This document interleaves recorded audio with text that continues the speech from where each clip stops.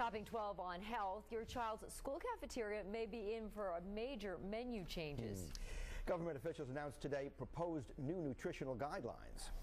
Here now is 12 on Health reporter Gillian Neff. Gillian. Imagine schools with no french fries. The guidelines are a major overhaul that would apply to all school lunches subsidized by the federal government. The big picture goal here to turn the tide on child obesity and the high rate of obesity related medical problems in children.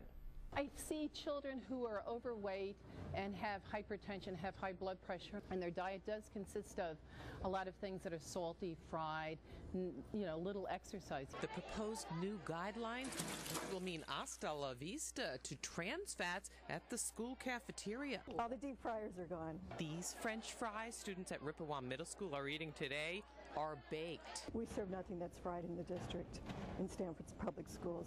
Everything's baked. Hello, Julio.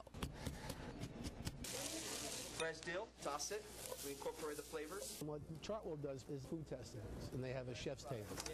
And they'll run various products that the chef will cook. I'm the district chef for the entire district. Yellow peppers, red peppers. Government health experts are talking about the biggest school menu overhaul in 15 years. What they're trying to do is reduce the salt, increase the fruits and vegetables that children are exposed to, and also introducing whole grains. They say there are ways around sodium to add flavor to the foods. We offer